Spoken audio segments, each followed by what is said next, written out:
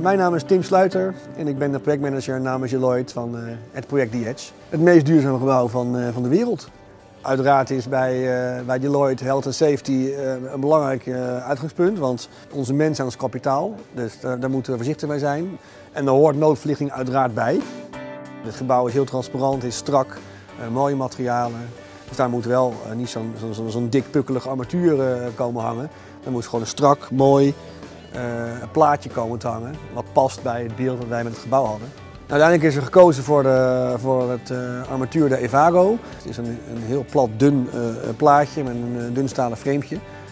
en uiteraard voldoet hij alle eisen. En hij is tot en met 32 meter goed zichtbaar.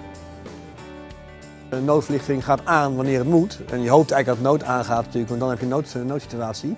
Wij hebben in het atrium en met de loopbruggen en met deze grote open ruimte hele grote uh, lichte ruimtes. Waardoor je misschien haast juist niet zou kunnen zien, hè, door lichtinval of reflectie. Maar het goede van de Evago is dat je hem juist wel heel goed ziet. Uh, door de pictograamgrootte en door zijn positie.